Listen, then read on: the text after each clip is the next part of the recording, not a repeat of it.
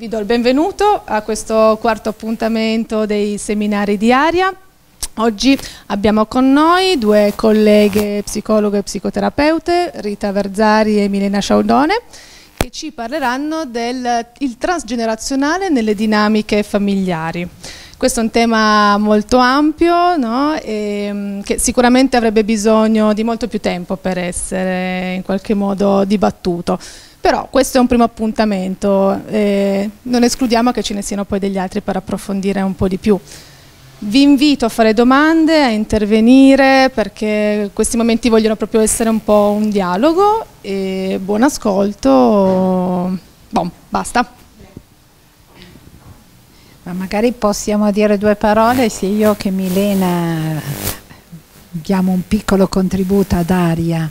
Noi facciamo parte di un'altra associazione che si chiama Aria G, che come Aria insomma, lavora con adolescenti e giovani adulti, lavoriamo con ragazzi dai 16 ai 24 anni che abbiano un blocco come dire, nel loro percorso evolutivo. Io e lei in particolare ci occupiamo delle famiglie nell'ambito di Aria G. Eh, io darei la parola a Milena per iniziare. Mm -hmm, grazie.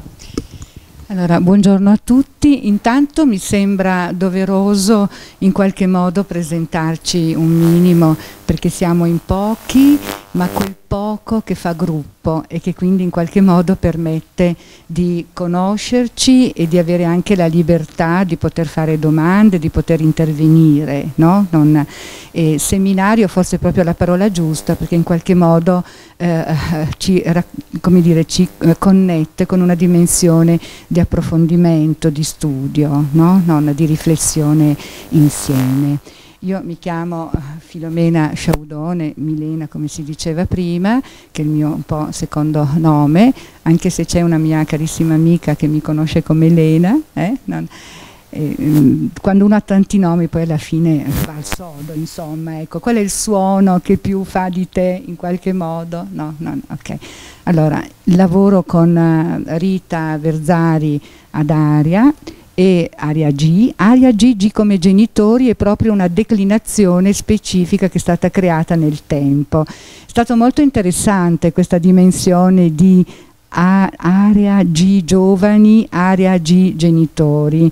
Mm, sembra una casualità, se lo fosse sarebbe una bellissima casualità, perché sono proprio delle contrapposizioni, sono proprio delle possibilità no, di mettersi al confronto in una dimensione in cui i giovani chiedono ai genitori, i genitori chiedono ai giovani, eccetera, eccetera. E per chi è del mestiere, vedo un assistente sociale, eh, vedo no, non una psicologa, eh, sono i momenti di crisi in cui comunque i servizi vengono in qualche modo interpellati.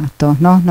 stiamo parlando di aria, stiamo parlando di ARG sarebbe molto importante avere un po' una vostra conoscenza. Non so se dare il microfono o se io lo do, dopodiché vediamo. Ok. Mi chiamo Maria Paola Chirone, sono, una, sono assistente sociale alla giustizia minorile, in particolare nel servizio sociale per i minorenni. È un servizio che si occupa di ragazzi imputabili, quindi sottoposti a procedimenti penali, eh, e quindi dai 14 ai 25 anni di età in buona sostanza. Eh, mi chiamo Elena, sono della cooperativa Il Portico, sono, siamo suori, lavoriamo, eh, al, facciamo lavoro domiciliare, per, tu, per, cui educatrici lavoriamo sui minori dagli 0 ai 14 anni più o meno. So. Sono Chiara, sono consorella di Elena, quindi idem. Io sono Luca, un educatore del comune di Torino che si occupa sia di minori che di disabilità. Io sono un genitore, quindi non ho da presentare nulla. No, nel senso io sono venuta per capire come funzionava, quindi vorrei... È un genitore di? Un genitore di una ragazza eh, adottiva che ha quasi 16 anni. Io sono Melanie Bruna, sono una psicologa e collaboro sia con l'equipe di Aria che con l'equipe di Area G. Io mi chiamo Carlotta Torello, sono la coordinatrice di alcuni servizi per minori contratti psichiatrici. Io sono Giulia Tarquini, collega di Carlotta Torello e sono coordinatrice di un servizio residenziale per giovani adulti disabili. Io sono Patrizia Persenda e sono un'amica della dottoressa Lena e quindi sono venuta per ascoltare per interesse personale. Eh, sono Luigia Cavuoto, sono una psicoterapeuta, collega delle dottoresse, sono venuta perché le stimo molto e a volte può capitare di collaborare con loro, almeno lo spero.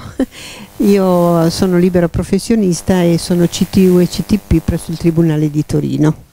Grazie.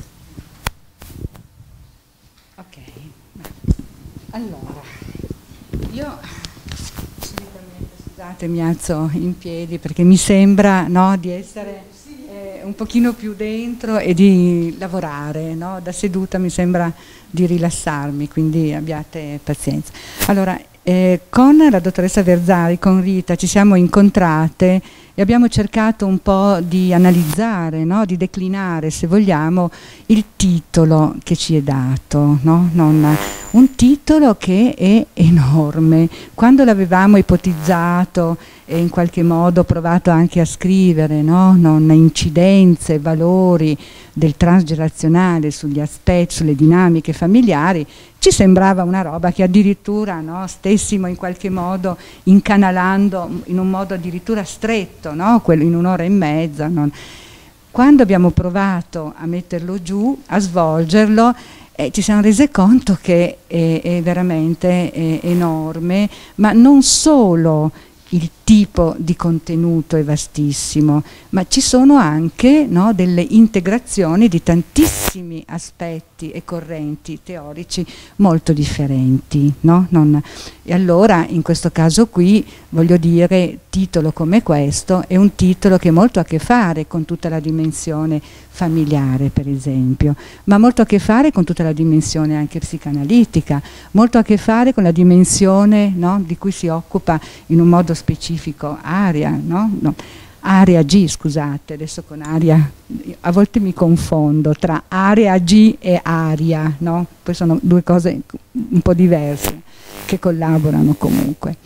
E allora rispetto a questa cosa qua abbiamo con grande, voglio dire, eh, sforzo cercato di trovare una direzione, una direzione che potesse essere utile a dare dei contenuti, delle indicazioni, no? dei piccoli approcci se vogliamo che poi possono essere approfonditi successivamente. Eh. Quindi eh, questa è una premessa doverosa proprio per dire non siamo qui con la lezione no, teorica su quelli che sono gli aspetti transgenerazionali nelle dinamiche familiari elencati eccetera eccetera ma che cosa vuol dire parlare di transgenerazionale, che cosa significa parlare di dinamiche familiari e quanto questi aspetti incidono perché e come, no? no? che ci sembra già questo un approccio interessante che ci permette di aprire una finestra, di aprire una finestra. Eh? Eh, vi prego qualsiasi domanda, eh, punto di vista, riflessione che vi viene a mente, no? non, eh, mi raccomando con molta libertà. Abbiamo utilizzato queste slide che abbiamo tagliato, rimpicciolito e riscritto eh, proprio per non perdere il binario, no? non, per non perdere il filo e per essere abbastanza sicure di poter gestire in termini di contenuti quello che era il nostro proposito. Intanto va fatta una premessa fondamentale. No? No. La premessa fondamentale, prima di parlare di transgenerazionale, è molto importante parlare no, della famiglia, perché è proprio l'ambito, la dimensione e il sistema all'interno delle quali no, il transgenerazionale ha luogo, si esplica in un modo privilegiato in assoluto. Noi possiamo parlare di transgenerazionale a livelli diversi, ma quando si parla di quello che porta il transgenerazionale, noi parliamo sempre di un sistema familiare perché il sistema familiare è un sistema molto complesso in cui si integrano, entrano tutti questi aspetti, questi incroci a livello di tempo per esempio. Proviamo a pensare a una dimensione di passato, presente e futuro. Proviamo a pensare ad esempio alle regole, ai valori, al senso di identità e di appartenenza che si trasmette all'interno, no? c'è proprio del sistema familiare, ai legami che si creano, che sono legami, così come dice la parola, qualcosa che lega ma qualcosa che imprigiona anche, qualcosa che sostiene ma che imprigiona per esempio. No? Non, ecco, tutto questo bisogna comunque premettere che all'interno di questo sistema che è un sistema molto complesso, più della somma delle parti, visto che qua abbiamo educatori, coordinatori, persone no? anche molto addentro alla materia, no? non, più della, più della, somma delle parti, no? data la complessità. Cioè non è una cosa più quella, non è solo quell'evento, non è solo la dimensione individuale, ma è l'incrocio di tutti questi aspetti. Questa è la complessità. I piani sono diversi, gli aspetti sono veramente complessi e diversi. Teniamo poi presente no? No, che proprio nell'ambito familiare avviene quello che è il famoso ciclo vitale, per cui all'interno della dimensione del ciclo vitale c'è la crisi. E molte volte noi parliamo di transgenerazionale quando nascono i bambini, perché lì abbiamo molto facilmente presenti le due famiglie che in qualche modo stiamo parlando di una situazione di normalità, di, no? in, in genere, insomma, a livello di generalità ma solitamente quando parliamo di adolescenti la dimensione del transgenerazionale lo perdiamo e ci perdiamo una grossa opportunità perché ci dimentichiamo quanto sia importante per gli adolescenti tutto il processo di identificazione, tutto il processo no? non, di crescita, di svincolo, eccetera, eccetera, eccetera. Ok, allora detto questo, um, io andrei inizierei. Ok ecco. Beh eh, abbiamo scelto tra l'altro ci siamo dimenticati di mettere il nome di questa autrice eh, che si chiama Anselin Schutzenberg. Eh, molto purtroppo è mancata l'anno scorso credo. Non, molto vecchia vecchia vecchia vecchia. Io eh, veramente non so quanti anni avesse più di 90 comunque più di 90 eh, in, in, nei seminari, nei convegni non interveniva neanche più, tanto era, però faceva figura, no? non, eh, faceva figura e testimoniava presenza, no? non sapere, cultura. Uh, di colpo si svegliava e, e, e, faceva un intervento sempre appropriato. Io rimanevo stupita, diceva, come faceva? Ha dormito fino adesso, non dice niente, quella parola che dice ha senso. Va bene, questi sono come dire, no? non i grandi probabilmente. Ecco, questa eh, frase di Anselin Schutzenberg, perché lei proprio è la prima che ha cercato di dare un senso dalla psicanalisi, dalla, no? ha fatto un po' un collegamento tra la psicanalisi freudiana e se vogliamo la sistemica di Bowen, no? cioè cercando proprio di, ehm, dire, di dare un significato a quello che poteva succedere no? come valore transgenerazionale. E come le fate intorno alla culla della bella addormentata nel bosco, i membri del gruppo familiare dicono e predicono cose, ruoli, ingiunzioni, scenari futuri, ma anche tacciono. Mostrano con il loro silenzio l'inquietante presenza di non detti aree della vita familiare a cui il bambino non deve avvicinarsi, pensare. Ed è per questa via, questo gioco di scambi e relazioni del gruppo familiare che il bambino viene formato, gli si assegna un posto nel sistema, vengono orientate le sue scelte, gli interessi, le relazioni, il destino. Ecco, in questa, queste righe no, c'è già tutto dentro il discorso del transgenerazionale, di questa culla proprio da immaginarsi con intorno un sistema che in qualche modo tramanda, trasmette, decide.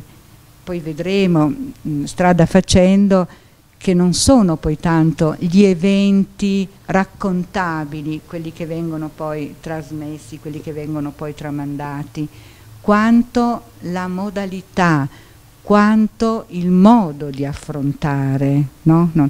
E questo è una cosa molto importante perché se noi ci fermiamo e poi lo vediamo attraverso le slide in questa ora a disposizione, non è tanto l'evento del, della cosa terribile che è successa, no? Che si racconta e quindi quella cosa lì viene trasmessa, eccetera, eccetera, quanto tutto il complesso di forma, di modo, di attenzione con cui viene gestita questa cosa qua ed è quella modalità lì che viene trasmessa, no? ma lo vediamo poi no? non strada facendo, eccetera, va bene. Ok, andiamo avanti. No, andiamo avanti. Ah, ok, ok, scusa, non mi ero, non mi ero accorta. Allora, abbiamo provato un pochino a eh, così vedere che cosa significa proprio il transgenerazionale, cosa significa la trasmissione no, del transgenerazionale. La trasmissione del transgenerazionale è l'esistenza eh, di una trasmissione psichica inconscia tra generazioni. Forse con la parola inconscia la risolviamo no? Dice, spiegando un po' quello che dicevo prima, che non è tanto no? non il fatto in sé, ma il vissuto quanto una dimensione inconscia non dicibile, non riconoscibile, che non ha parola, eh, che non, non può essere nominata che formano quelle catene di traumi, dolori, ferite dell'animo umano che si perpetuano nelle famiglie finché il loro significato non viene chiarito. È come una catena, è una catena, una catena che però a un certo punto può anche essere fermata, spezzata. No? Non, il perpetuarsi non vuol dire non cambierà mai, non, no? non vuol dire sarà sempre così, ma vuol dire che se non viene chiarito, non viene no, affrontato, non viene sviluppato, elaborato, usiamo il termine che vogliamo per capirci, rimarrà sempre in una situazione di reiterazione. Eh? Non, okay? Andiamo avanti. Nella trasmissione intergenerazionale possiamo trovare per esempio i torti subiti da un avo che possono diventare nel discendente missioni riparatrici, no? non, eh, eh, eh, adesso non voglio fare gli esempi per ognuna di queste cose, ma solo per capirci, per esempio eh, aver subito delle ingiustizie, aver subito un qualche cosa che io neanche conosco, io figlio del nonno, perché andiamo anche fino alla terza generazione almeno, no? non, io neanche ne sono a conoscenza, ma quel tipo di sofferenza, quel tipo di dolore che viene in qualche modo incorporato, lo vedremo poi dopo, ben scritto, no? non è dentro di me, e mi può portare a diventare una persona che in qualche modo è molto generoso, è, è molto eh, dedito, è molto disponibile, no? quasi una forma di riparazione a un torto subito, oppure posso continuare ad essere quello che subisce, eccetera, eccetera, eccetera, eccetera. No? Cioè va avanti questa storia del reiterato, no? proprio per usare un termine. Eh, i, i, torti, i fallimenti che possono trasformarsi nell'incapacità di creare relazioni, no? no? non ho più fiducia, non mi fido, non riesco, lo stress accumulato di generazione in generazione che può materializzarsi malattie, eventi traumatici, desiderio di morte. Ecco, questa è la parte anche negativa, no? soprattutto là dove ci sono delle famiglie rigide, dove c'è una modalità comunicativa molto rigida, dove non, c'è questo spazio di flessibilità e quindi non si ha la capacità di adeguare, di eh, in qualche modo no? non cambiare, ma diventa una reiterazione in automatico, cioè la dimensione creativa proprio non esiste. I segreti di famiglia, di cui poi parlerà anche in un modo specifico Rita, i non detti, che creano fantasmi, sintomi e appunto disturbi psicofisici, no? cioè nel momento in cui c'è una reiterazione in una certa rigidità e non flessibilità, no, la, eh, dire, la, reazione diventa proprio quella di esprimere un disturbo no? non psicofisico. Nella trasmissione transgenerazionale i vissuti trasmessi, come si diceva prima, sono impensabili, non sono descritti, non sono l'accaduto che c'è stato, avviene, attraverso, avviene un attraversamento tra le generazioni, tra gli spazi emotivi di contenuti, la cui elaborazione e trasformazione non è stata possibile, cioè non c'è stata la possibilità no, no, di fermare, di sbloccare. Questa è una frase molto forte ma che ci aiuta a capire di che cosa stiamo parlando e perché non è, è impensabile. Scusami Rita, era la frase di Niccolò, ritorna un attimo indietro, era proprio ciò che viene trasmesso non viene introiettato ma piuttosto incorporato. E questa è una frase molto forte che però ci fa capire quanto l'aver incorporato significa che fa parte di me e che per togliermelo devo in qualche modo fare dei passaggi e fare delle azioni particolari. Ok? Grazie. Lo spazio originario della trasmissione tra i soggetti, lo, lo accennavo all'inizio come premessa, è la famiglia perché qui che si colloca la trasmissione transgenerazionale con i suoi effetti sul piano intrapsichico e interpersonale. Intrapsichico è tutto il discorso che facevo prima, no? del malessere, delle reazioni, di quelle che sono le basi praticamente no? del pensiero, dei modelli, eccetera, e interpersonale invece proprio all'interno delle dinamiche che avvengono tra i membri della famiglia.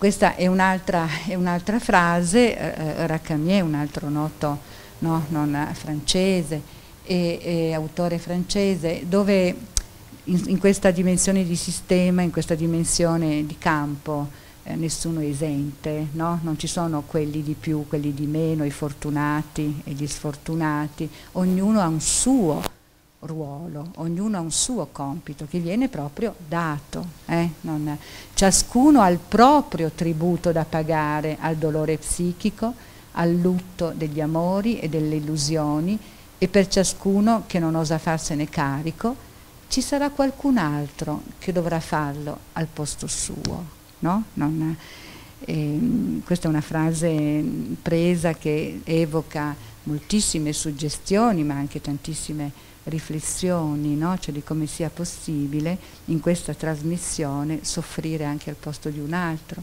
prendersi un pezzo, immaginate in una dimensione tra fratelli per esempio, no? non, o tra figlio e madre, tra, no? non, dove in qualche modo si confondono i ruoli, per esempio, dove comunque c'è un farsi carico, un prendersi esattamente al contrario. No? Non, ecco, queste sono condizioni e situazioni che si esplicano probabilmente nelle, nelle situazioni di grande no, di, di difficoltà.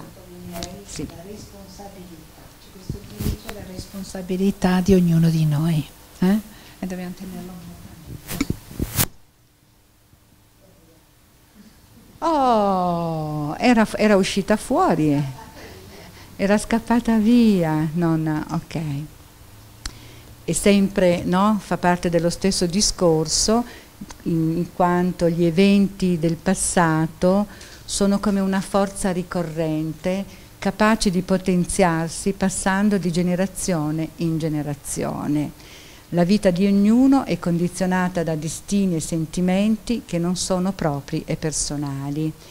Eh, vi, vi preparato solo per farvi capire, per entrare nel merito, di un piccolo racconto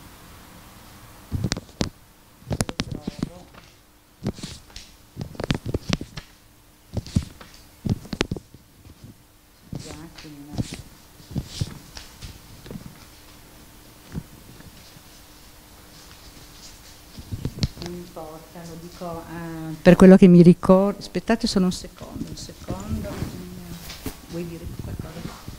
No, ne approfitto per dire che questa frase qua, che è entrata molto anche in ambito psicanalitico, no? Perché, come dire, chi lavora in ambito eh, psico, della psicologia clinica guarda il paziente, perlomeno questo avveniva tanto tempo fa. Cioè il fatto di avere la consapevolezza che la vita di ognuno è condizionata da destini e sentimenti che non sono propri e personali, non è che ci toglie la responsabilità, come dire, no, ci deresponsabilizzi. Però è molto importante tenerla a mente perché c'è un pezzo di non conosciuto eh, che in qualche modo condiziona la vita attuale nostra. Questa è un po' la consapevolezza del transgenerazionale, insomma, nella, quando parliamo delle dinamiche familiari. No? È il nocciolo, secondo me, fondamentale abbiamo tempo, fa lo stesso, nel senso che mi ero preparata, ma un racconto mi ero detto guarda com'è interessante no? non, eh, questo aspetto, eh, semmai poi dopo mentre no, eh, c'è un po' di dibattito lo, lo cerco e ve lo, ve lo, leggo poi dopo, eh, non, ha, non, viene assolutamente perso, che stava proprio sul discorso che gli eventi del passato no? non, si possono dimenticare, si possono mettere nel cassetto, possiamo anche tenerli segreti e poi vedremo dove vanno a finire se sono segreti, ma si ripresentano attraverso forme completamente diverse, ma hanno in comune quella spina dorsale lì, cioè quella dimensione lì, ok?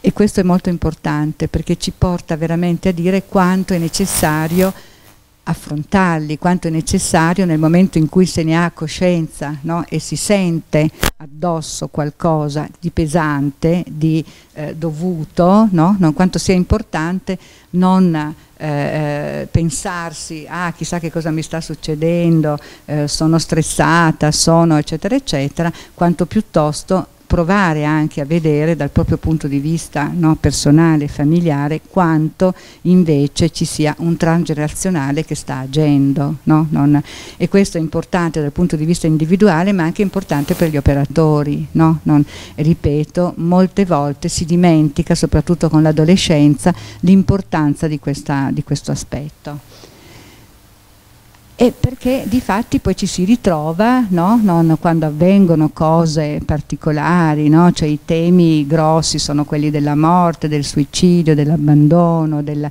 cioè sono temi, no? non, eh, mh, difficoltà di separazione, eccetera, eccetera, eccetera, no? violenza, no? Cioè, i temi grossi. Allora, quando ci capitano questi temi così grossi, così importanti, no? non, allora eh, eh, ci si chiede ma perché è avvenuto tutto questo? Non, perché avviene questo? Perché reagisce così? Perché? E la mettiamo molto sull'individuale, cioè la mettiamo molto solo sull'aspetto no?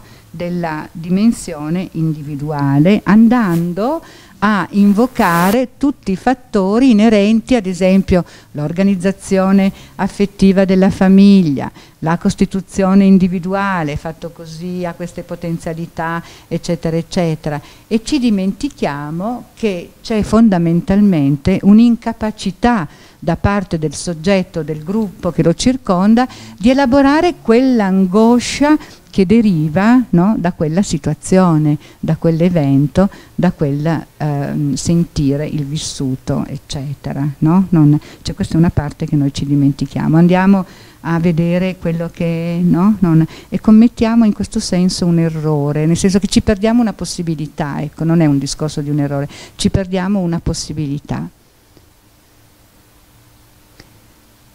Perché dall'angoscia nell'elaborare un aspetto, per esempio, traumatico della eh, transgenerazionale, questa angoscia che si genera dall'elaborazione dell'evento, fondamentalmente abbiamo due strade.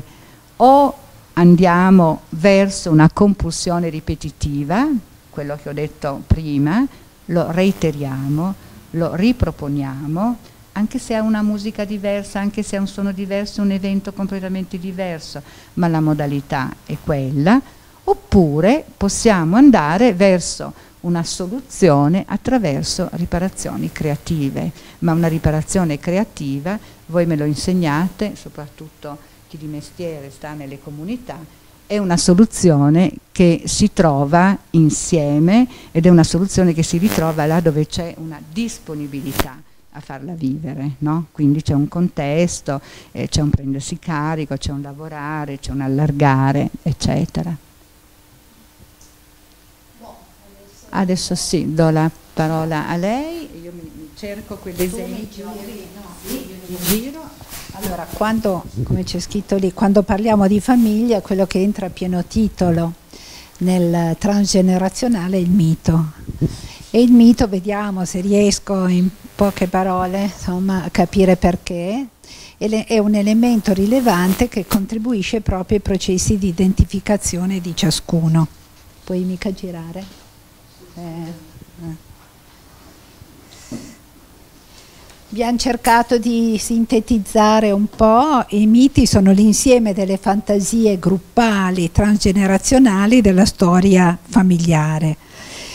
Um, aggiungerei, ehm, sono queste fantasie gruppali, prima di parlare dei, dei, ruoli, che si rimodellano nel corso del tempo, però lasciando un nucleo intatto all'origine, che a volte resta segreto nel corso delle generazioni. Mm. Alla sua costituzione, direi al suo permanere, contribuiscono tutti i membri della famiglia di generazione in generazione, organizzando così diciamo, la continuità del gruppo familiare. I miti descrivono i ruoli e le attribuzioni tra i membri della famiglia nelle loro interazioni reciproche.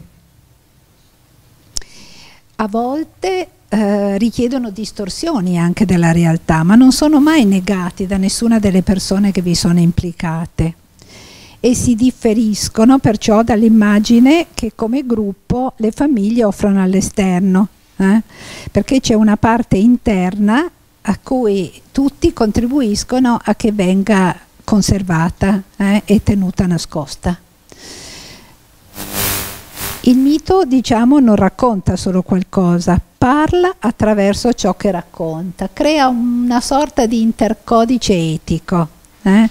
Il mito, cioè, collega diversi livelli della realtà e la sua grande importanza nasce proprio dalla capacità di essere un autentico intercodice proprio per i rapporti che il mito costituisce tra i differenti livelli della realtà. Mentre il mito sembra descrivere la realtà, insegna e prescrive piuttosto come la realtà deve essere letta. Nelle dimensioni non patologiche, certamente diciamo che questa dimensione prescrittiva può essere in qualche modo modificata, nel senso che eh, può essere messa in discussione dalla storia personale di ognuno. Eh? Quindi questo non è che sia impossibile, è un lavoro molto complesso. Eh? Quello che io e lei volevamo sottolineare tanto è che questo è un aspetto che dobbiamo tanto prendere in considerazione eh? come un elemento terzo eh, nel rapporto che abbiamo con le persone di cui ci occupiamo e che riguardano anche la vita di ognuno di noi. Eh. Rispetto al segreto. Mm. Il segreto, parlando di famiglie, diciamo che non possiamo non sottolineare l'importanza patologica e patogena, direi, dei segreti familiari. Eh? Ogni famiglia, ogni individuo ha psicologicamente organizzato una parte di sé attraverso il segreto. Eh? Ci sono persone tra l'altro che si fabbricano falsi segreti per, proprio per compensare la mancanza di uno spazio personale interno. Eh? Sono persone che hanno degli aspetti problematici o delle carenze.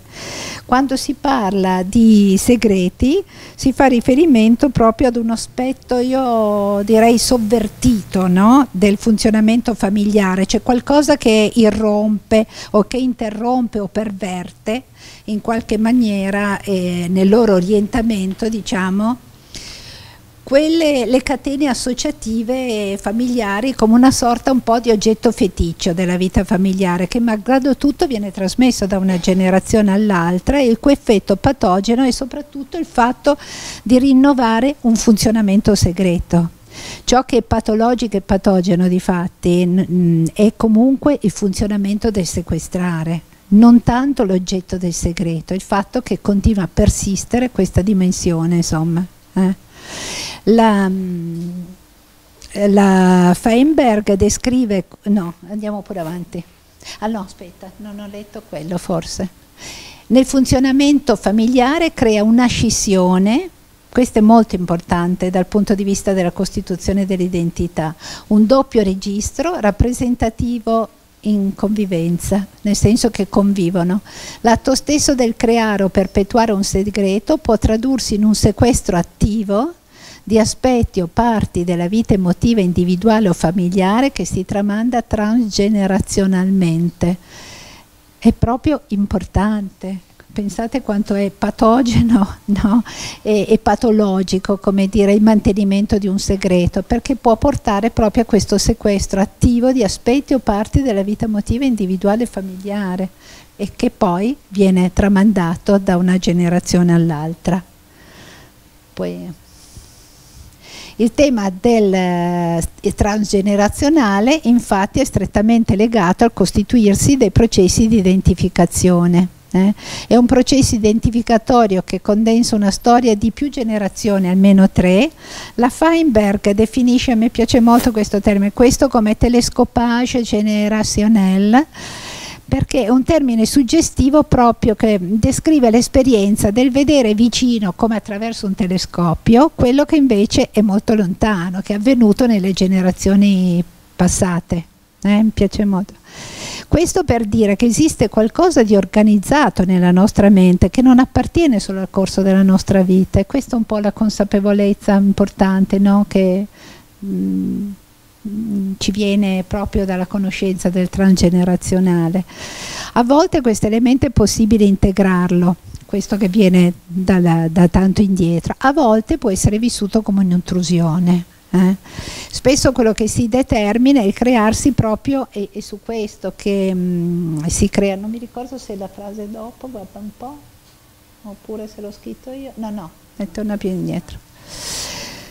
E il crearsi questo è molto importante, io trovo, di un doppio registro interno, no? capace di generare una scissione molto molto precoce tra aspetti accettati e accettabili che vivono allo scoperto nella vita familiare e aspetti nascosti che invece sono scissi, molto negati, che invece corrispondono al segreto. Il problema si fa rilevante però quando la necessità di acquisire proprio uno stato di autonomia e di separatezza come nel periodo dell'adolescenza comporta un processo di disidentificazione o di trasformazione creativa delle precedenti identificazioni. Cioè l'adolescenza è una fase in cui questo deve assolutamente venire. Mm. E questo processo comporta una selezione, una trasformazione, forse talvolta anche un abbandono delle precedenti eredità fantasmatiche che abbiamo ricevuto dagli altri, specialmente dai nostri genitori. Il lavoro però su questi aspetti è molto complesso, molto complesso e difficile sia per l'adolescente che per la sua famiglia, perché se da una parte dire, questi aspetti parassitano il soggetto e la vita di relazione, dall'altro però sono anche costitutivi della sua identità e di quella famiglia il rischio quindi è che una loro elaborazione potrebbe anche equivalere ad una rinuncia ad aspetti vitali anche alla perdita di identità. Eh? e imporrebbe un doppio lutto, da una parte quello di parti di sé e quello di parti del genitore o dell'antenato, della famiglia con cui la persistenza di queste problematiche funziona come un legame potente. Quindi come dire, questi aspetti in adolescenza veramente creano eh, un problema ulteriore, non so, mi viene a mente, io ho appena salutato adesso una famiglia che sto vedendo da un po', con una figlia che ha fatto un tentativo anticonservativo, ci sono due genitori molto, mm, come dire, sono partecipativi, eh, partecipano a... però eh, c'è un papà e una mamma che sono consapevoli dei loro limiti ma impossibilitati a, a, a, a farci qualcosa, no? a cambiare, a cambiare. Soprattutto il papà in questa coppia in qualche maniera è molto bloccato da qualcosa che appartiene come dire, al suo passato, non solo al rapporto con la sua famiglia, ma è una storia, come dire, che si perpetua, no? perlomeno come dicevamo prima, siamo indietro di tre generazioni, rispetto alla quale deve farci un lavoro, non è possibile, cioè non è che ci si arriva razionalmente, perché questa parte che è così segreta, così, eh, questo transgenerazionale è qualcosa di cui non si ha consapevolezza, no? è qualcosa che può essere recuperato attraverso un lavoro, come dire, faticoso anche, che non sempre può essere fatto da soli. Eh? Ed è un qualcosa che ce l'abbiamo tutti dentro, non è che tutti però abbiamo la necessità, come dire, di andarlo, magari potremmo avere la curiosità, ecco, di andare a vedere no, che cosa ci è stato tramandato, insomma, da generazione in generazione e che cosa io ho utilizzato ma ehm, come dire, nelle situazioni dove c'è un problema eh, consistente è assolutamente indispensabile. E se questo non viene fatto può creare un blocco grande perché oggi dicevo questo papà il problema di farsi aiutare non è legato di nuovo non è che hai dei problemi sei tu il negativo eh, ma ci sono aspetti della tua vita di cui non è possibile entrare in contatto da soli mm? e che necessitano in qualche modo di essere, di essere come dire, conosciuti, eccetera. Poi mi viene in mente, non so, una situazione, cioè non è che siamo obbligati, non è che è un binario, come dire, ci sono degli aspetti di scelta, no? Perché se mi viene in mente quell'esempio che abbiamo anche trovato di una nonna eh, molto intraprendente, molto libertaria, un po' cocotte, no? che ha ricevuto in eredità, quindi ha fatto la fortuna della sua famiglia perché ha avuto un'eredità da un suo spasimante molto ricco. Allora, nella generazione, nella, nipotina, come dire, che entra in adolescenza, no? nel vissuto della famiglia ci può essere o il vedere questa nonna come una signora molto intraprendente e che in qualche modo, come dire, è riuscita con, ma anche con affetto, come dire, no? ad entrare in relazione, come dire, con un signore così fortunato, oppure a vederla come una signora molto, eh, molto negativa, molto equivoca, eh, che, e questo ehm, incide molto rispetto al rimando che i genitori inconsciamente possono vedere insomma, no? nel rapporto con questa, con questa figlia eh? e anche poi il rapporto della nonna con questa nipotina. Proprio partendo da questo esempio che riporta Rita, eh, pensate in una dimensione adolescenziale in cui c'è anche la scoperta della, della, sessualità, per esempio, fare riferimento no? a una nonna cocotte piuttosto che a una nonna no? non abile, eccetera, quanto restituisce e quanto rafforza e disegna in qualche modo tu, il tuo vissuto no? sulla sessualità soprattutto per l'adolescenza. No?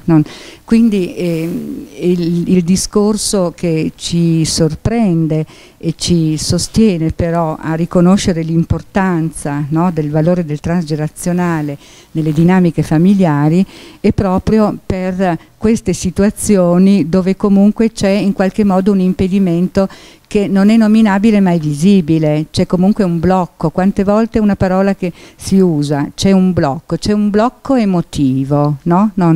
il blocco emotivo che è proprio questa incapacità no? non, di raccordarsi, di integrarsi, di esprimere, c'è il silenzio per esempio, la non parola, ecco situazioni che rappresentano il drammatico da questo punto di vista, no? non, beh, molte volte è una non parola che arriva da un trauma, per esempio. No? Non, il trauma è una parola che non abbiamo nominato, ma nel transgenerazionale molto c'è di traumatico quando viene trasmesso. No? Non, perché come diceva Rita prima, quando parlava della scissione, no? non, eh beh, se siamo in una famiglia elastica, morbida, che è capace di avere delle regole in discussione, che è capace di dialogare, eccetera, eccetera, eccetera, possono esserci tutti no, gli aspetti pesanti, bloccanti che vogliamo, ma c'è forse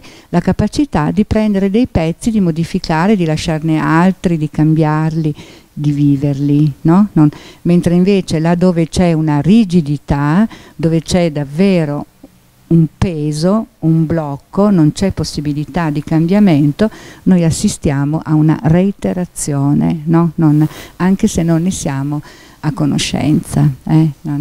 Io ho trovato quell'esempio che era un po' al di fuori delle nostre portate, perché di un vecchio signore, eh, un passatempo, no?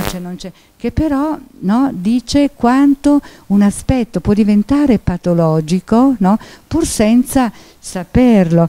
Si tratta di un uomo che ignorava la storia di suo nonno materno era un geologo, dilettante, molto appassionato. Ogni domenica andava a raccogliere sassi, li spaccava e li catalogava. Nello stesso tempo cacciava farfalle, le catturava e le uccideva col cianuro. Per una sua crisi esistenziale iniziò una psicoterapia e, e venne punto fuori no? il, il segreto che lui non aveva mai conosciuto cominciarono le indagini e lo portarono a scoprire che il nonno aveva fatto cose assai malvagie per le quali era stato inviato in un battaglione di punizione a spaccare sassi in Africa. Ovviamente questo è proiettato precedentemente come tempi. In seguito era stato condannato alla camera a gas, cosa che anche sua figlia, la madre del nostro geologo dilettante, ignorava quindi non era stato proprio detto. Dunque raccogliere sassi, spaccarli, uccidere farfalle con il cianuro avevano un forte senso simbolico, completamente rimosso nella realtà familiare, che tuttavia lo spingeva a proseguire proprio per una coazione a ripetere quei gesti e sempre per coazione a ripetere la fine tramite il sostituto delle farfalle. In sua madre, la mamma del geologo, il trauma aveva cominciato a perdere le parole con le quali essere ricordato. Non ne, non ne sapeva nulla, non era conoscenza, per cui non aveva le parole, ma aveva, pur senza saperlo, conservato la spinta disorganizzatrice trasferita in seguito al figlio, al nostro geologo il quale è sospinto a proseguire a sua volta il compito di attenuare no, la portata energetico-affettiva del trauma, perché è quello che ti permette no, di è come un mandato, no? cioè di continuare comunque a esistere. No? Non, vabbè, adesso questo è un discorso citato in una grande psicoterapia, eh, eccetera, eccetera, però questa cosa era completamente non saputa, non vista e inspiegabile, no? ma quello che ci colpiva, per cui il motivo per cui l'ho riportata, è proprio questo senso che pur non essendone a conoscenza, no? non, è stato tramandato no? e in qualche modo è stato agito qualcosa, non qualcosa che non era tanto adeguato. Non, okay.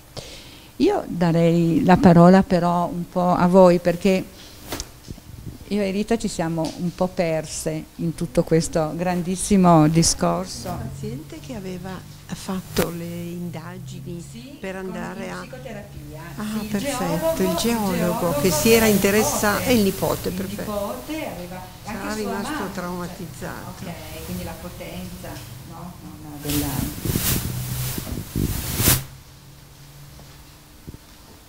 Vi prego di approfittare di questo spazio no? con libertà, domande, pensieri, riflessioni, preoccupazioni.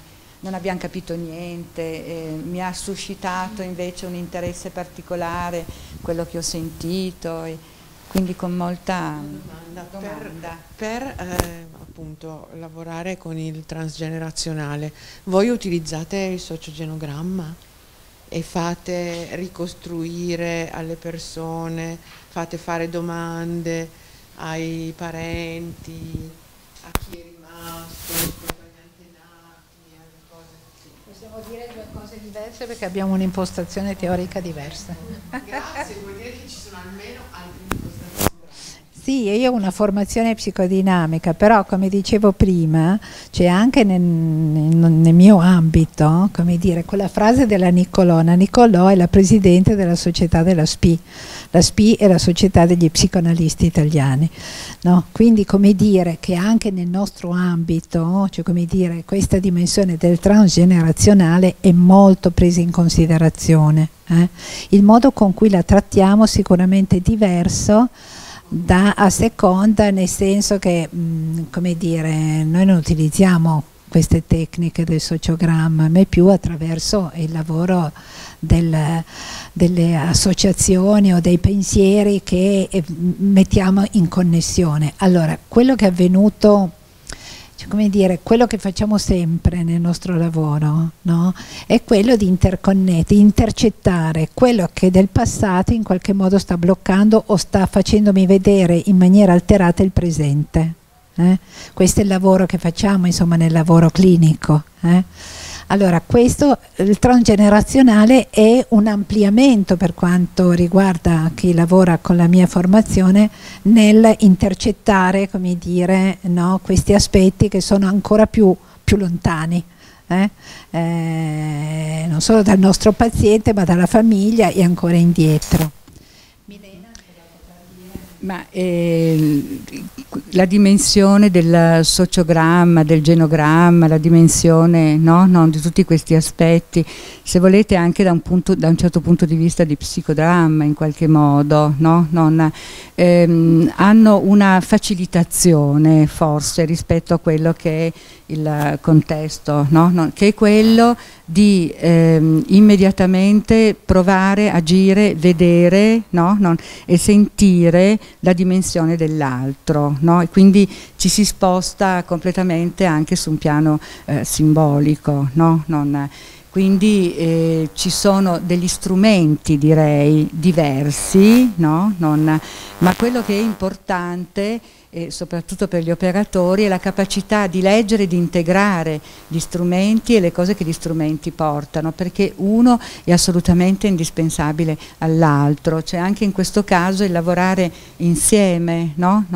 permette veramente di avere poi una visuale molto molto più, più, più ampia. No? Non, oggi come oggi siamo in una situazione in cui eh, la modernità, le nuove scienze, le neuroscienze, ecco c'è tutto l'aspetto delle neuroscienze che noi abbiamo completamente abbandonato, ma questo del transgenerazionale è un campo molto anche no? in cui c'è l'espressione eh, delle, delle neuroscienze, dove ci sono una catalogazione ad esempio anche di patologie psichiatriche, figuriamoci, dice a, no, a, non finire come letteratura rispetto a questa situazione qua. Beh, oggi come oggi la, la, la, la carta vincente no? è quella capacità di integrare no? non, e di non dire ah se fai così hai risolto, perché io posso fare uno splendido no? non genogramma, posso fare un meraviglioso no? Non, No, no, no, no, no, sì, esatto, esatto, ma poi non hai no? non, la possibilità di mettersi in ascolto cioè di questa parte profonda no? che da fare emergere, ma tu non hai fatto nulla, cioè hai fatto un pezzetto che però diventa solo strumento, tecnica e non è lavoro terapeutico, no? Non, ok, ecco, quindi c'è fondamentalmente. Ci sono delle altre esperienze, mi permetto anche di dire questo, eh, che eh, hanno una grande visibilità sul territorio e raccolgono tanti consensi, per esempio, che sono le costellazioni familiari, no? Non, dove proprio sulla dimensione dell'irretimento, no? come dice Ellinger, che è quello che ha in qualche modo no, non eh, creato le costellazioni familiari e, e questo irritimento, ecco, nelle costellazioni familiari tu lo percepisci, lo senti e si crea effettivamente questa possibilità di ascolto. No? Non, ma io però andrei su un altro piano, nel senso che anche quando io ho capito, ho ascoltato, eccetera, eccetera, no? Cosa posso adesso io, nella mia realtà, nella mia situazione, nella mia, cos'è che posso modificare, che po come posso cambiare, chi, cosa, eccetera. Allora credo che questo sia no? il grande, il grande lavoro e la grande scommessa. Eh, no, è proprio per dire, come dire, non basta arrivarci razionalmente, il passaggio dalla consapevolezza razionale no? di questi aspetti, magari ce l'hai anche con le costellazioni, vedi, vai indietro, eccetera, cioè non è che di per sé ti porta dei cambiamenti, come dire, il cambiamento richiede veramente, è un processo complesso e delicato perché passare dall'aspetto razionale all'aspetto emotivo presuppone un lavoro che non è che possiamo fare con scioltezza e, da soli. Eh? Soprattutto siamo stimolati quando ci sono dei problemi, insomma, no? normalmente eh, chi va dallo psicologo, dallo, psicoterapeuta o dallo psicanalista? Eh, o perché ho dei problemi o perché in qualche maniera voglio farmi un regalo, a me viene da dire, perché, e, e farsi un regalo, cioè andare a vedere no, le cose che ci riguardano, andare a, a sciogliere un po', è come fare non so, fare ginnastica, no? e in qualche maniera ti sciogli un attimino, allora sto meglio se vado a fare ginnastica, poi se non la faccio e sono giovane posso farla lo stesso, cioè sto bene lo stesso, ecco, diverso se ho un problema di una certa consistenza.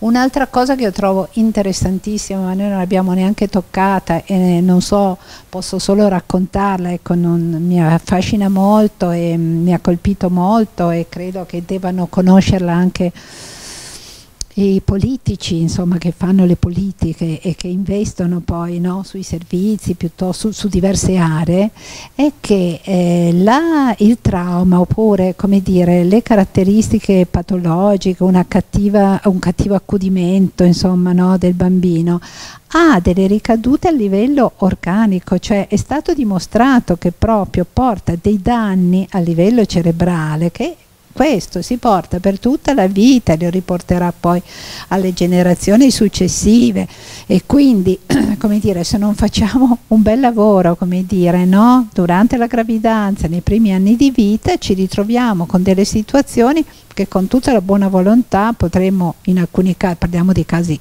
consistenti, possiamo al massimo fare un lavoro di adattamento, come dire, ma già quello è proprio complesso e difficile, no? di adattamento alla vita quotidiana. Questo è molto molto importante e lo stesso appunto avevamo visto con lei è stata anche un'opportunità anche per rivedere no, delle cose, di leggere del materiale eccetera è molto interessante cioè, e, e, sono, stati, sono descritti proprio che cosa, i cambiamenti che avvengono a livello cerebrale, a livello delle strutture eh, nervose, a livello delle strutture limbiche, eccetera. Molto interessante questo. Dovremmo dirlo ai politici fare un po' un corso. Eccetera. No, no. Sì, sì, sì. È solo una cosa, una battuta, no? Sì. Una conoscenti disse alla sua figlia che si voleva fidanzare, dice fidanzati pure, ma prima cerca di sapere la storia della sua famiglia se ci sono stati dei pazzerelli. Questo per dire come la, questa trasmissione avviene, questo scherzando, certo. però non, era, non, è poi così difficile ecco, eh, sposarsi o fidanzarsi con uno che poi magari tre generazioni prima ha avuto una serie di disturbi anche mentali seri. Certo, certo, certo, assolutamente. Chiediamo un pedigree. non ce la capiamo. Non ce la capiamo. Però non sempre nel PD mettono i segreti. Eh no, è vero, i segreti non sono... I segreti a volte vengono... Non sono dicibili, no? E noi chiamano i segreti. Alla tutto questo movimento di non dire, di nascondere, di, ed è quello che viene no, poi infatti risultato. Eh, sì, io credo che, che comunque la sistemica abbia effettivamente lavorato tantissimo no?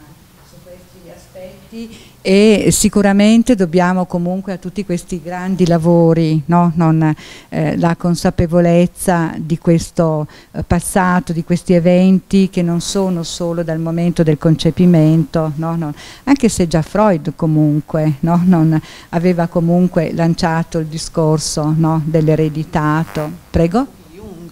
Anche Jung, Jung che parla tutto della dimensione del simbolico che comunque ci portiamo dentro, ci portiamo dietro. Quindi vedete che eh, eh, eh, rispondere un po' alla tua domanda, no? non, che ho trovato molto, particolare perché se penso che tu sei un assistente sociale, no? non, eh, eh, mi viene da chiederti per esempio, io adesso non, non, ti conosco, non so dove tu lavori, dove, ecco però eh, proprio l'assistente sociale eh, quanto è importante disegnare per esempio il contesto no? non, e quanto nel disegnare questo contesto si scoprono e si sentono e si prende visione di non saputi, di non detti, di non, anche senza no? non fare connessioni rispetto ai blocchi che si osservano specie negli adolescenti. Eh. Il problema è sempre il tempo, nel senso che, eh, come dire, appunto io prima facevo l'esempio di uno strumento che è uno, un semplice strumento. Eh, lavorare in questo modo richiede tanto tempo che ormai nessun operatore più ha. Ma quanto ti dà però il Ah, ma, certo. Nel senso che risparmi poi dopo, è quello che dovremmo dire così. E questo risparmio dopo, perché se io tratto individualmente in una situazione di questo tipo, no? No, non so quanto tempo ci metto per arrivare a comprendere se invece ho un contesto Certo. sin dall'inizio, quindi un risparmio poi dopo, oltre il risparmio delle ripercussioni di cui si parlava prima, no? Della disorganizzazione proprio mentale, per cui hai dei Mhm. grossi problemi poi in adolescenza se nasci in un certo modo, se cioè, No, volevo dire quello che a me è servito stasera, è, ad esempio io faccio un lavoro semplice di educatrice, comunque la storia familiare, conoscere la storia ti porta poi ad accogliere, a capire, eh, perché magari certi ragazzini, a me è capitato di prenderli a tre anni e portarli a 16 anni, e poi a 16 anni scoppia tutto, tutto il dramma, la, la conoscenza della famiglia della famiglia, della famiglia prima, di, eh, cioè com'è importante questa cosa qua, no? Di tener conto, non è tempo perso, è questo. Sì, io volevo solamente provare a portare l'ottica invece eh, su quella che è la, la mia professione, che non faccio lo psicologo, quindi, ehm, e quindi abbiamo un'operatività proprio differente, cioè noi siamo agenti di cambiamento, quello dovrebbe essere il nostro lavoro.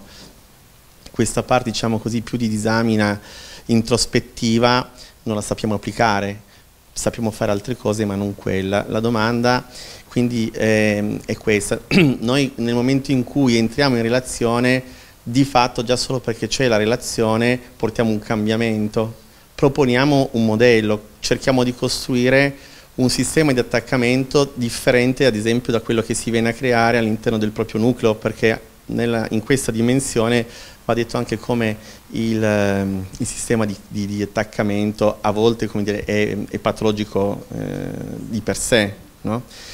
E, mm, e quindi era anche capire quanto l'intervento che è molto diverso da quello dello psicologo perché è costruito nella quotidianità, sul campo, alimentato da una continua relazione dove si costruiscono un, un sistema di fiducia dove viene riproposta in realtà eh, un nuovo modello, quanto questo nuovo modello può ehm, aiutare la persona ad, ad uscire ehm, da questa coazione a ripetere ehm, nella- nella- nella- nel suo futuro. Ecco.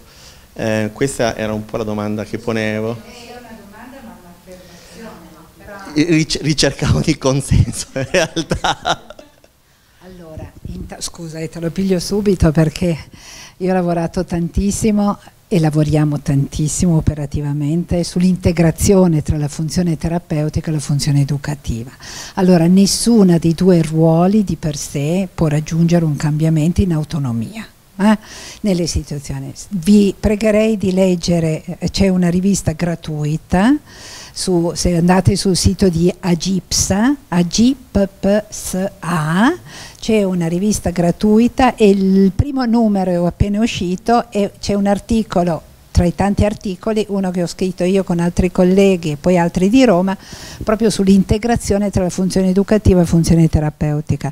Ora, l'educatore è vero che ha quel ruolo per cui noi ci crediamo fortemente, insomma, alla necessità di un lavoro sul campo, ma se l'educatore non lavora integrato con quello che è l'altro pezzo di lettura delle difese, della lettura del contesto che viene condivisa, ma soprattutto a livello poi anche non solo intrafamiliare ma anche intrapsichico su quali sono i blocchi no? e, e, e le resistenze che possono essere messe in atto dalle situazioni è anche difficile perché è vero che tu ti poni quell'obiettivo, che ce lo poniamo tutti, che è l'obiettivo del cambiamento, ma come? quali sono le condizioni che possono renderlo possibile tenuto conto delle resistenze al cambiamento che abbiamo tutti, che in alcuni contesti, soprattutto quelli più patologici, che sono proprio come abbiamo detto tutto quel discorso del segreto. Per cui ritengo veramente Um, cioè è vero che parliamo di due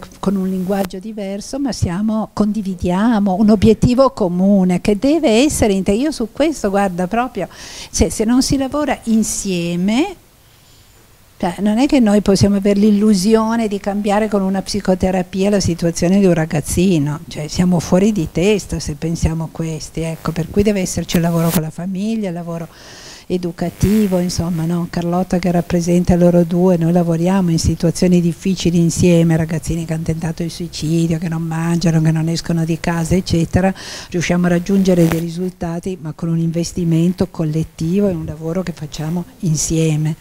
Eh del recupero dell'informazione della famiglia, solo per dire le differenze. Un conto se questo recupero lo fa un assistente sociale, un conto se lo fa un educatore, un conto se lo fa uno psicologo. E, è difficile che ad esempio l'educatore riesca a cogliere tutti quegli aspetti di, della storia familiare che in qualche maniera riesce a carpire lo psicologo. Quindi se non c'è appunto questo lavoro complementare, il rischio è solamente di avere una narrazione ma senza rilevarne i contenuti, non so se poi mi sono spiegato.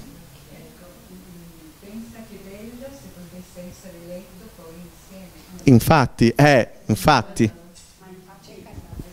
Infatti, adesso, eh, come dire, in questo io sono molto orgogliosa di dire che noi, per quanto riguarda almeno il territorio piemontese, siamo un'eccellenza, non noi, io, ma siamo un'eccellenza nel senso che eh, per quanto riguarda i ragazzini e i casi gravi, effettivamente c'è questa condivisione, per cui eh, c'è un raccogliere le informazioni, quindi magari la ragazzina alcune cose le racconta a me e non riesce a raccontare alla psicologa, o non le racconta l'assistente sociale, le racconta magari in una situazione più informale, ma io raccolgo tutto e poi riporto all'interno di un'equipe che in qualche modo pensa insieme e questo secondo me è fondamentale, il, la condivisione e anche la fiducia reciproca di diverse professionalità. Io eh, lavoro sul territorio di Torino dal 2002, eh, io sento crescere questa eh, coesione, non c'era eh, o forse io non, non, non, la avvertivo così tanto. In questo momento secondo me c'è una buona ehm, rete reale, nel senso che fra la neuropsichiatria, eh, la parte di psicologia del, del territorio, i servizi sociali, c'è una buona collaborazione che sui casi difficili secondo me è l'unico modo per riuscire a ottenere un vero cambiamento. Poi io personalmente, sul, anche per la, la, mia esperienza personale, credo molto al fatto che ehm, come educatrice l'avere una visione generale mi aiuta a essere un po' più lucida sul pensare eh, al ruolo e alla mia collocazione. Quindi io, non so, banalmente quando ho tempo il genogramma lo faccio da educatrice, però per avere l'idea anche soltanto visivamente, non so, dei vuoti, perché i miei ragazzini hanno tantissimi vuoti. Eh, tanti punti interrogativi per cui non c'è nessuno che sappia eh, che fine avesse fatto il nonno. To, ehm, quello mi aiuta moltissimo. Così come anche delle domande che a volte, cioè, in quello qualche supervisore nel tempo mi ha aiutato a darmi delle, uh, no, delle domande che ho in testa. Quando conosco una ragazzina nuova, a un certo punto o a lei o a mamma o papà io chiedo, um, ma ti chiami così, ma come mai ti hanno dato questo nome? Da dove arriva? Uh, e quello normalmente è una, adesso ho fatto un esempio, però è una domanda che fa nascere sempre il pensiero, quindi spessissimo non sanno da dove arriva il nome, oppure si rendono conto che arriva, non so, da una zia, da una nonna a cui la mamma era molto legata, um, e poi mi parla, allora la mamma mi parla di quando la bambina è nata, di quando pensavano alla nascita, questo è soltanto una generazione, non è che andiamo troppo in là, però sì, e secondo me queste cose sono molto molto utili. Aiuta a riattivare il dialogo tra i figli. Certo. Loro magari chiedono, spesso noi incontriamo famiglie piene di buchi, piene di buchi, ah, sì, piene di buchi, pieni di, pieni di segreti. Tutte le famiglie hanno un mito familiare, ma eh, i miti nelle famiglie e ben, ben, che ci siano. Mio nonno è sempre stato descritto come un eroe, io non credo lo fosse, però questo è quello che è passato, quindi ci sono anche, come dire, dei miti che rinforzano l'identità. E, e, e invece ci troviamo con dei ragazzi che non sanno nulla, nulla di nulla, di cosa ha fatto suo nonno. Pensiamo ai ragazzi stranieri che arrivano qui, non sanno più niente. Pensiamo ai ragazzi adottati, con tutti, tutte le adozioni che falliscono quando i ragazzi arrivano in adolescenza. Cioè, è veramente, questo è un tema per me affascinante da matti, a me piacerebbe lavorare su, su queste cose, però è veramente un, apre un mondo. Io in questo momento ho 25, 25 26 casi che ruotano attorno al centro di Livorno e su 25-26 casi ne ho almeno più della metà che sono adottivi. Non credo che sia un caso, cioè, e, e quando avevo fatto lo, lo, studio il primo anno e mezzo di apertura, per cui avevo proprio i numeri, avevo fatto la statistica, praticamente l'80% arrivava con o da una, comunque da, una, da, un lutto, per cui eh, o era morto un genitore, eh, uno dei due genitori, o era un nucleo monoparentale, per cui un'adozione Uh, insomma una mamma che era rimasta comunque da sola, quindi il papà era scomparso, se non era morto comunque non c'era più notizia, oppure sì, erano adottivi. Non credo che sia un caso, ecco. io sottolineerei l'importanza e, e la, la, la, bellezza, la forza del nostro lavoro, no? non, perché prima si parlava di pensiero, no? non, si aziona un pensiero ma voi pensate che queste situazioni, questo ragazzino, questa ragazzina, se l'educatore, l'assistente sociale, lo psicologo lavorano insieme, lui non si senta pensato? È tutta un'altra cosa. Cioè, quindi questo lavorare insieme, no? non, vorrei aggiungere questo pezzo che va oltre la rete, no? Che è già così difficile, però è quella che ci permette di integrarci, di fare, eccetera, ma noi diamo qualcosa ancora in più, cioè noi gli riconosciamo il diritto di essere pensato, no? Non, c'è qualcosa sì? Grazie. No, volevo solo uh, sottolineare un aspetto perché, um, per evitare un rischio eh, secondo me è anche importantissimo no? in qualche modo andare a conoscere quella che è la storia, quella che è la storia conosciuta dalla, dalla persona, quindi è vero, prima parlavate di raccogliere informazioni, eh, però secondo me bisogna fare attenzione poi a non leggere quelle informazioni che si hanno in maniera deterministica, per cui se è successo quello, ah è proprio per questo che la persona sta così, perché questo è molto rischioso ed è un rischio in cui possiamo incappare tutti quanti costantemente, quindi è importante conoscere, è importante narrare, rinarrare insieme, ma per eh, sentirsi pensati, per ricostruire nuovi scenari e nuove possibilità. Quindi solamente attenzione a non leggere le cose in maniera deterministica. Dobbiamo aprire finestre, non chiudere delle porte. no? No. Perché dopo che una dice una roba così... Eh no, no, però l'altra cosa che mi veniva da pensare, perché pensavo, no, noi qui siamo Aria e quindi Aria lavora con beh, dire normalità, no, una normale adolescenza in crisi, no?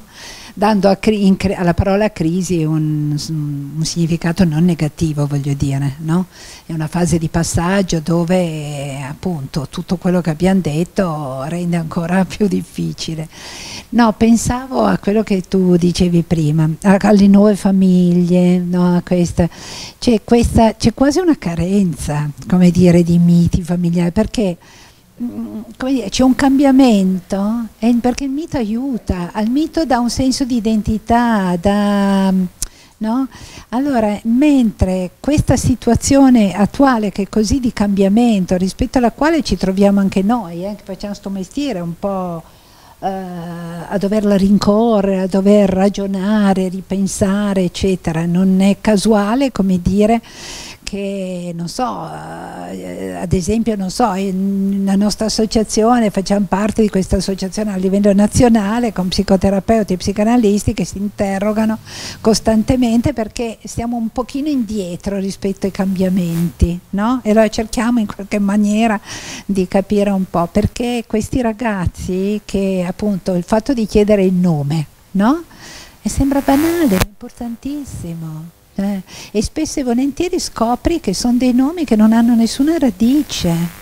No? Mentre una volta si dava il nome del nonno, della nonna, della cugina, cioè, ma al di là di quello, ma anche il nome attuale non sempre viene dato con un significato, non so come dire, no? Ti chiami così, ti ho chiamato perché, come dire, ehm, cioè, è di moda, eh? oppure ricorda degli aspetti, eccetera.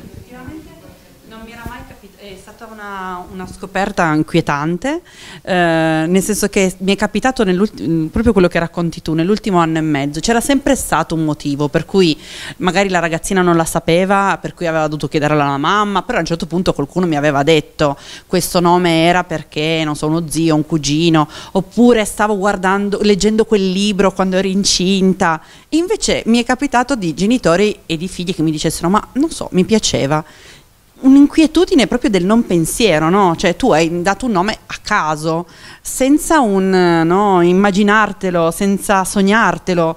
Uh, l'ho trovato veramente inquietante che... Sì, non mi era mai capitato.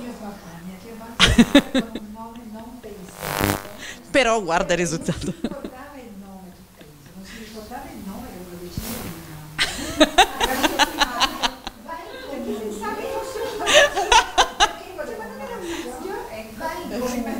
Anch'io sono diventata femmina.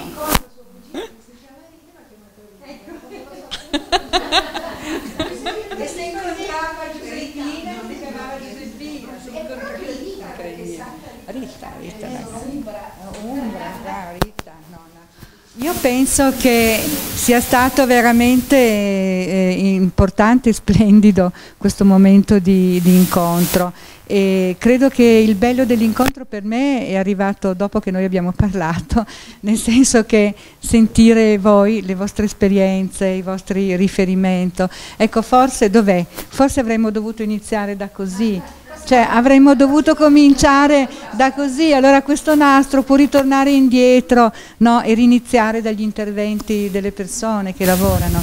Abbiamo perso un genitore comunque. Era l'unico genitore.